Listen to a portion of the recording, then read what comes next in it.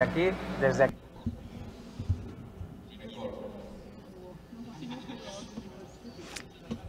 Well, thank you. Can you hear me? No, mm, not so well. Now, yes. Well, this proposal is called uh, various changes of the PDP because initially there were some uh, additional changes in addition to the ones now. But uh, as uh, there were new versions and discussing it with the community, apparently the community accepted just a couple of changes that are the ones in this version. Basically, the idea is that the experience that we have with the PDP uh, in recent years since it was approved. I think it was in Panama, if I'm not wrong. Well, we've seen a range of um, aspects and that needed uh, fine tuning or improvement.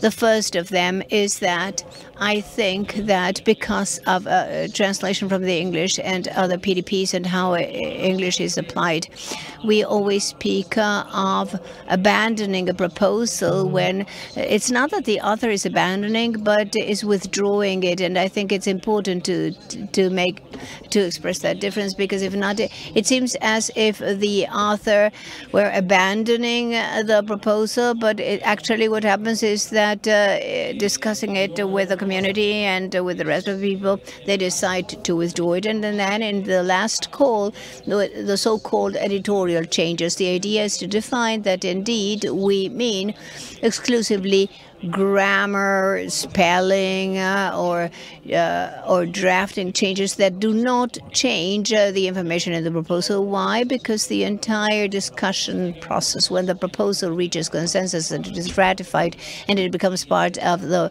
policy manual, whoever reads that proposal has no easy, direct ways of seeing what how uh, things evolve to reach that proposal. So if we delete a certain information, then the uh, it might be interpreted in a different way, different from uh, what uh, was the understanding when it was discussed. So these small changes are reflected as follows. First of all, in 324, uh,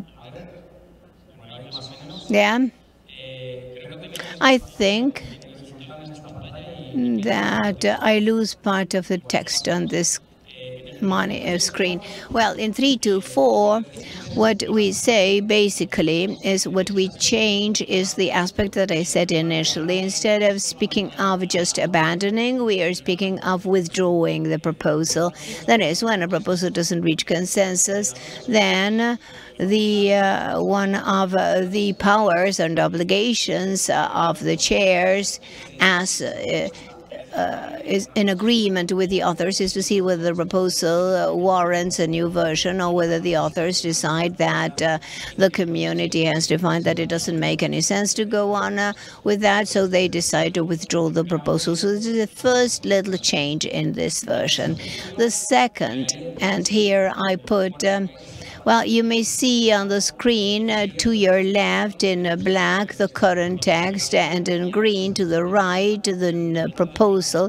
And I, in bold types, you have the change. The rest is, is almost the same, unless for some editorial correction. So what we do here is to say that and as a matter of fact, this happened recently in a couple of proposals. I think that one of them was a couple of years ago, and the other one was just precisely what Thomas said, that hadn't been ratified by the board precisely because of this reason when during the last call, the last comments, there are changes made, what we say is that really those changes need to be reflected in a new version.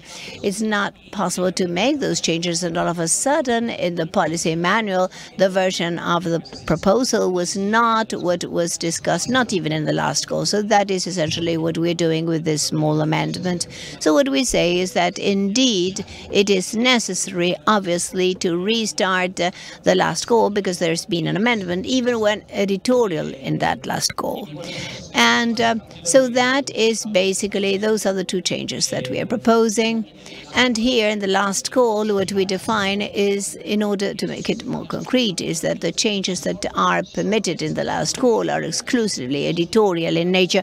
And we understand as such um, uh, spelling, grammar, drafting, or similar, but but only if uh, the text has that has reached consensus doesn't lose, any details, including information, so that uh, the final version is consistent with what was discussed uh, with the community. We cannot delete complete paragraphs that provide information that new readers that were not present in the discussion won't find it easy to understand it and may interpret the uh, manual in a different way.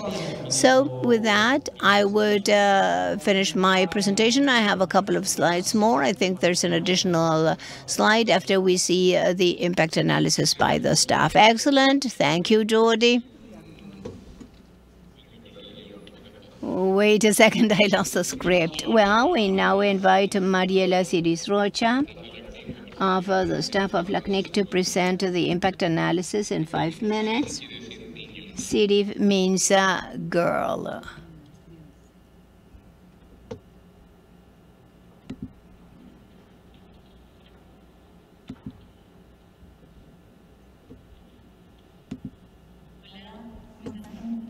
Good morning, everyone.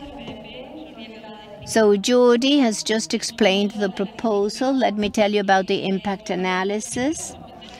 About the comments of the staff, we don't have any additional comments. Uh, but we do have a recommendation. This is a suggestion. We suggest um, making the most of this, uh, leveraging this opportunity to promote a, a, broader debate so as to somehow solve the inconsistency evidence in the non-ratification of the proposal LAC 2022-3 version 1. That inconsistency, since I have time to comment, has to do with the use of uh, minor changes, of the, the, editorial changes, using them as equivalent, etc. So that is was our suggestion. And as to the impact of the uh, systems, the registry, in if this proposal is uh, approved, then we would have to update the policy system for it to contemplate the possibility of uh, including versions of the proposal and rest restarting the last call stage if there are any editorial changes. That is all. Thank you, Mariella. Jordi, please. So could we go back to my presentation? Thank you. Okay. Oops. There we are.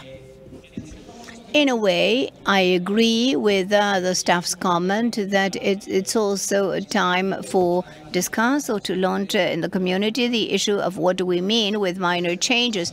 But that is another phase of the PDP, so I understand that indeed it could be good to launch a new proposal, and I can do that myself. Let me try and discuss it in the list, uh, the policy list, so that we may see whether we want to include nuances of the minor changes, but this is absolutely different from what is being proposed here, because what we are proposing here is in the last call. And, and, and the other thing is before reaching consensus. So they are absolutely different stages. So although I agree with what the staff says, I understand that what is not being suggested is that we should do it in the same proposal, but that we should launch it too, but not necessarily in the same proposal. That is, we are not requesting for a new version of this news proposal. I understand that. So that would basically be the issue. Thank you. Perfect. Now let's start with the discussion time. So we invite you to share your doubts, opinions, and comments on this proposal. We can do it uh, with the proposals here. We have Franco Cabrera of LACNIC.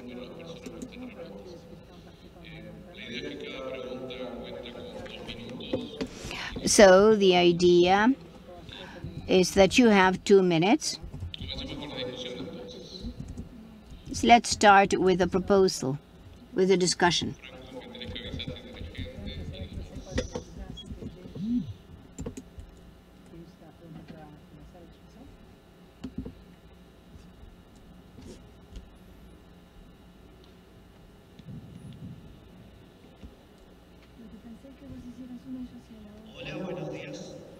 Hello, Ariel Weher. I'm speaking personally. Um, First of all, let me say that I agree with this version of the proposal. And second, I wish to invite the people who were present at the uh, policy proposal to remind them that this is the time you are invited to use the mic. So that's what I wanted to remind you. Please participate and welcome to this uh, great community. Ariel, I didn't understand whether you agreed. Yes, yes. Oh, sorry, I can't hear from here. Yes, I I do agree.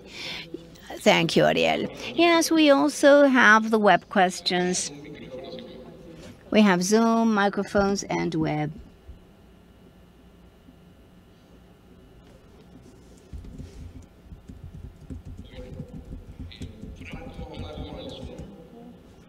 Franco, is there anything in the Zoom? Uh, no, there's nothing there. Okay. Vamos a dar muchas gracias, Jordi. Uh, thank you, Jordi. If there are no further comments, let's now go. This went crazy, sorry.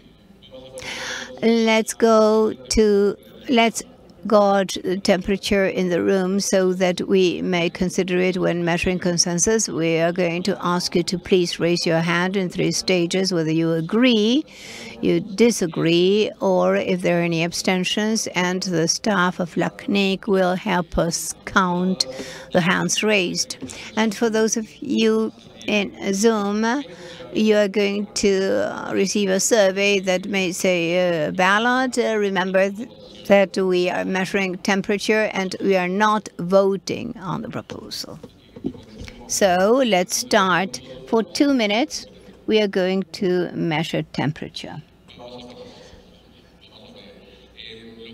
So those of you in favor of the proposal, please raise your hands.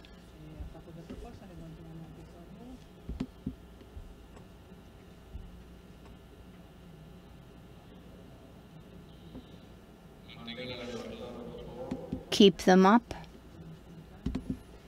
please.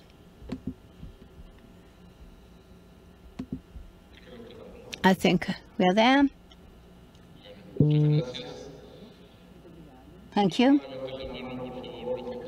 Now raise your hands if you are against the proposal.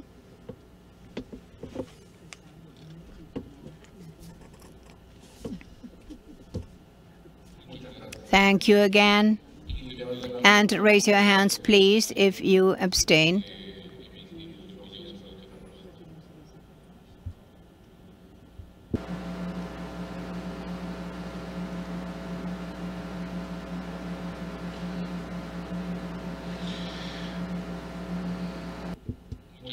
Thank you all.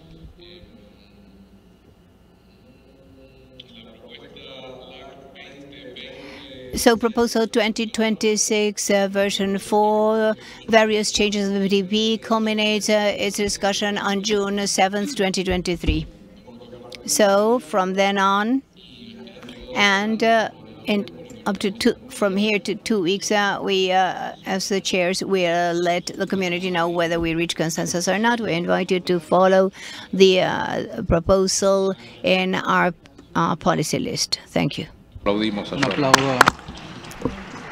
So a big round of applause for Jordi.